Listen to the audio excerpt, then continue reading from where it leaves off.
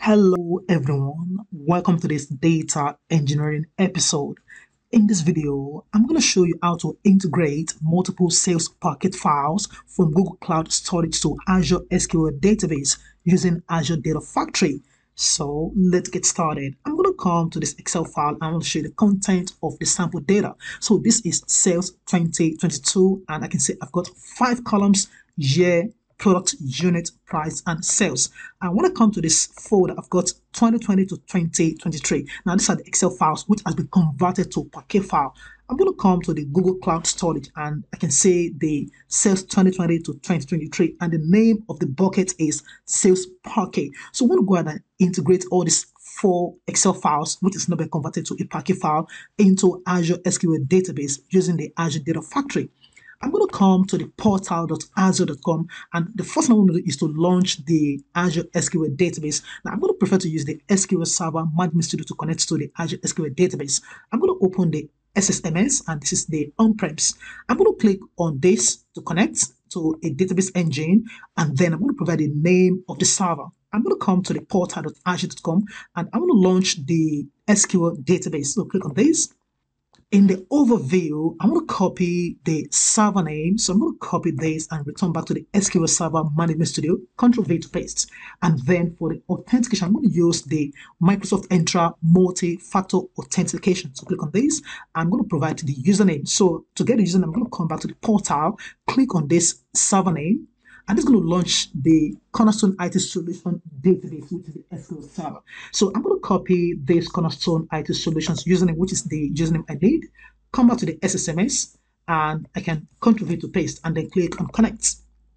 I am successfully connected to the Azure SQL database. So I can say cornerstone IT solutions.database.windows.net.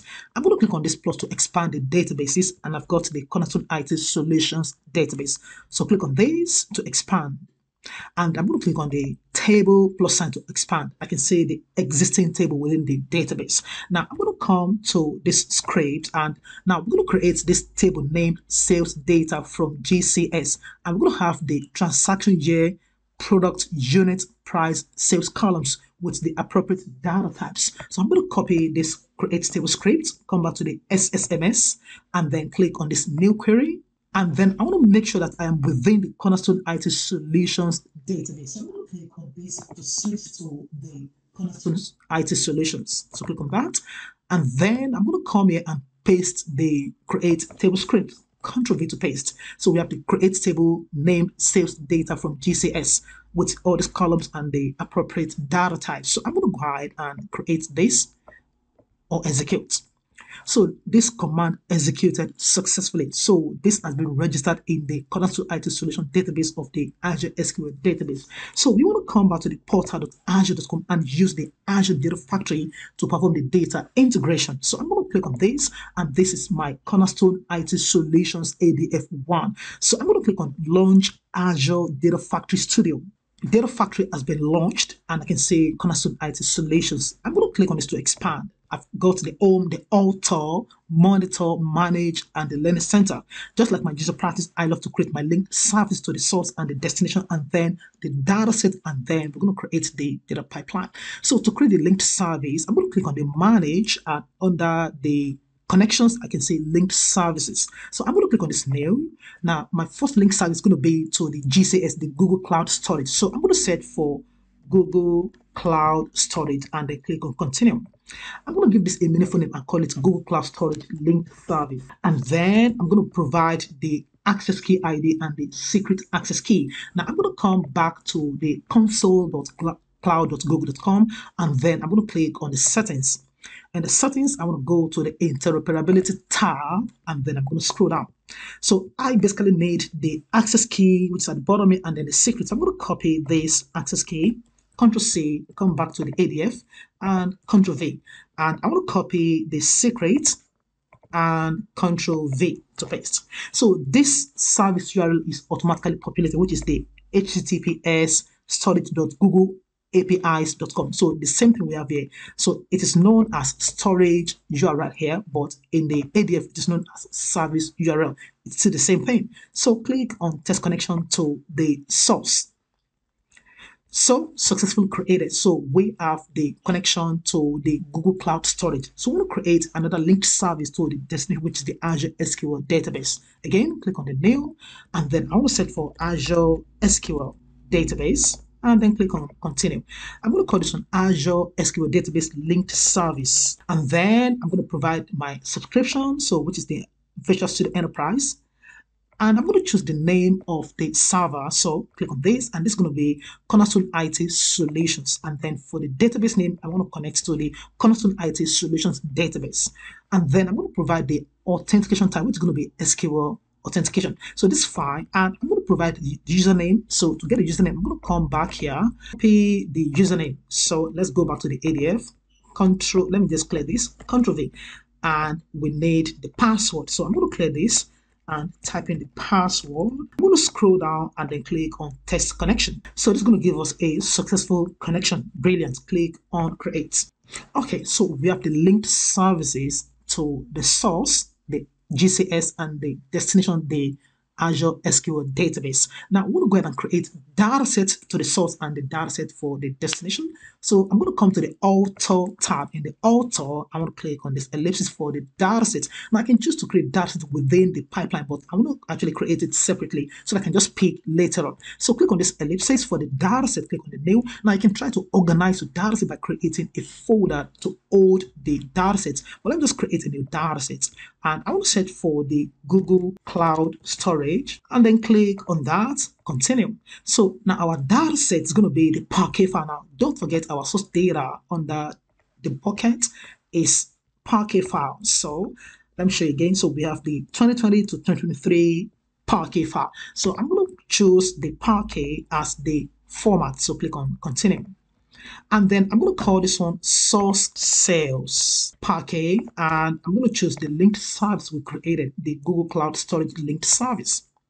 Now, I want to browse through the bucket, which is the file path. So click on this browse, and then I'm going to choose the name of the bucket, which is coming from the GCS. Okay, so I'm going to pick the sales Parquet. Now, we're going to say the 2020 to 2023 Parquet files. Okay, so in this case, I'm not going to pick each of them because we want to read all of these four files at the same time. So just make sure you don't click anything. Click OK. So we're going to access the bucket without necessarily picking any of the 2020 to 2023 data. So we're going to stick with this import connection stop and then click on OK. This has been created. Now I'm going to click on this panel to close the properties. So we have the source sales Parquet. So we want to create the destination, the sink. So again, click on this ellipsis for the data set. And I want to create a new data set for Azure SQL database and then I'm going to call this one Azure SQL table. So let me just put a prefix. I'm going to call this one sink and it's going to be sink Azure SQL table. And I want to pick the linked service we created, Azure SQL linked service. Now I want to go ahead and pick the table we created in the SQL Server Management Studio, the sales data from GCS. So click on this drop down and I can see the sales data from GCS table automatically available. So I'm going to choose none. This doesn't matter anyway. Click OK. So again, we have the Sink Azure SQL table data set. Now we can go to the pipeline under the factory resources, click on this ellipsis, and I want to create a new pipeline. Now for the pipeline, I'm going to create the copy data activity. So search here and drag into the designer. Let me collapse this to manage the screen. I can collapse this. I can give this a meaningful name. I'm going to call this one data integration and then I can collapse these properties. So we have the copy data activity within the designer. So under the general, I can see this default copy data one. We can leave this and then move to the source. Now in the source, I can pick the source data we just created not too long. Click on this drop down. So we don't need to create again. Click on the source sales Parquet, which is the Parquet file format. And we're going to see this file path type and then we're going to see other things like the filter by the last and so on and so forth. Now I'm going to choose the sink. Now the sink is going to be our destination, which is the sink Azure SQL table. And when I click on validate file, I'm going to get this error.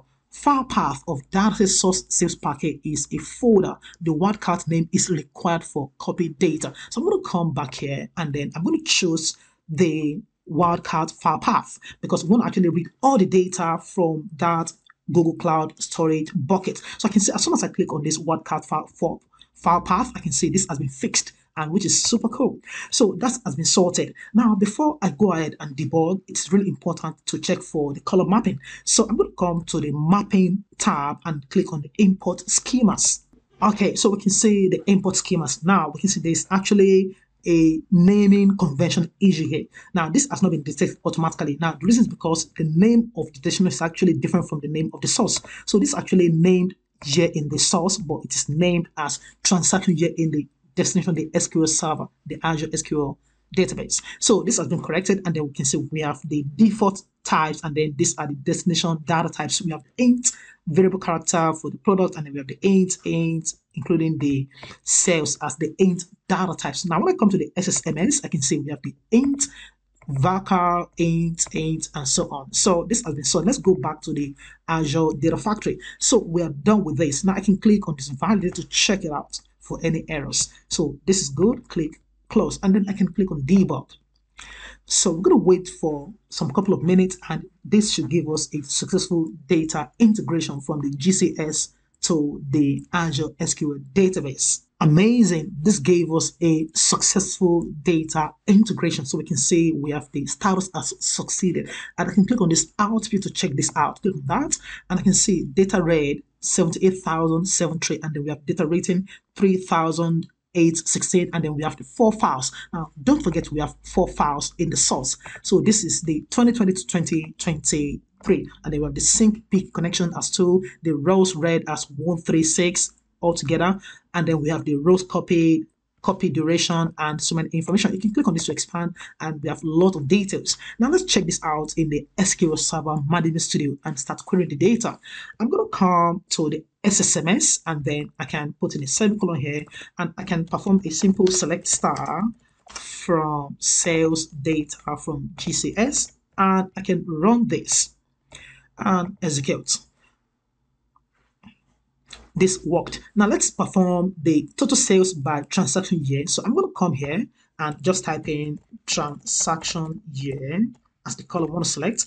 And then we want to sum the sales column as total sales. And I'm going to press enter and I can get rid of these, press enter, and I want to grab the group by clause. So I want to group by the transaction year and I can run this.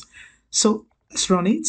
There we go. So we have the 2020, 2021, 2022, 2023 total sales. So we can say based on this data set that the 2023 is the best performing year for us as a business in this context. So this is how we can read multiple Parquet files resident in the cloud storage into Azure SQL database leveraging the Azure Data Factory.